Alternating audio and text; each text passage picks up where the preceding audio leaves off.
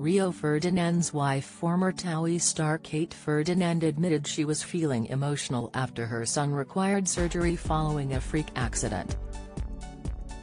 The media personality, 29, took to Instagram to update her 1.4 million followers on the terrible ordeal. Kate shares two-year-old son Cree with her husband Rio, 44, who is a former professional footballer and television pundit for BT Sport. The star shared a picture of little Cree's bandaged hand, filling her fans in on the nasty injury. Sorry for the radio silence, she wrote. My poor baby had a freak accident on Tuesday and ended up breaking a bone in his finger and then needed nail bed surgery. Am a complete emotional wreck mama right now, she added with a tearful emoji, before also writing, look at his little hand. Kate has recently announced she is expecting another baby with her husband Rio, with the pair both feeling overwhelmed by the happy news. They previously filmed the moment Kate had announced to her stepchildren that she was pregnant with Cree back in 2020 in a heartwarming video.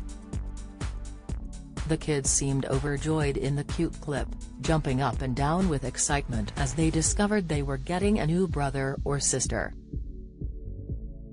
Don't miss.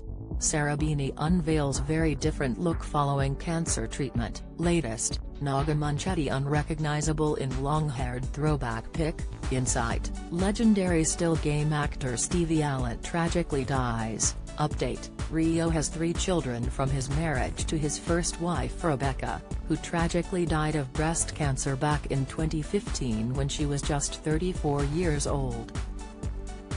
The pair shared Lorenz, 13, Tate, 11, and 9-year-old Tia, all of whom were left heartbroken by their mother's death.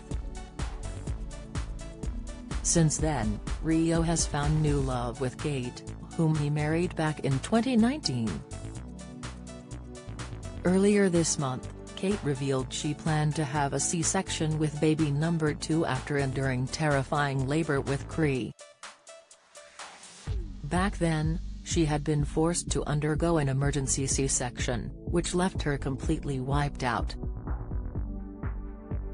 While a due date hasn't yet officially been announced, Kate and Rio did reveal they are expecting a baby girl.